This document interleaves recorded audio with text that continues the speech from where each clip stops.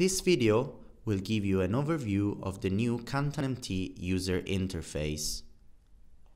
Once you log on to the platform, you will find the new KantanMT dashboard where you can manage your KantanMT engines.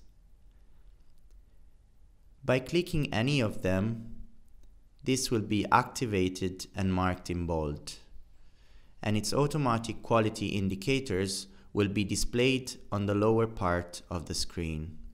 These indicators are F-measure, Bleu, and TER score, as well as the word counts.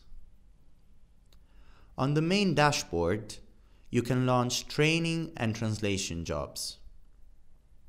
After activating an engine, you can move through the different tabs to add training data, upload and translate client files, or deploy your engines through the API.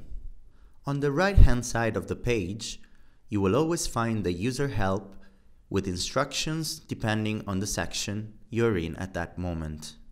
The user help will show you how to use the new interface and optimize your tasks.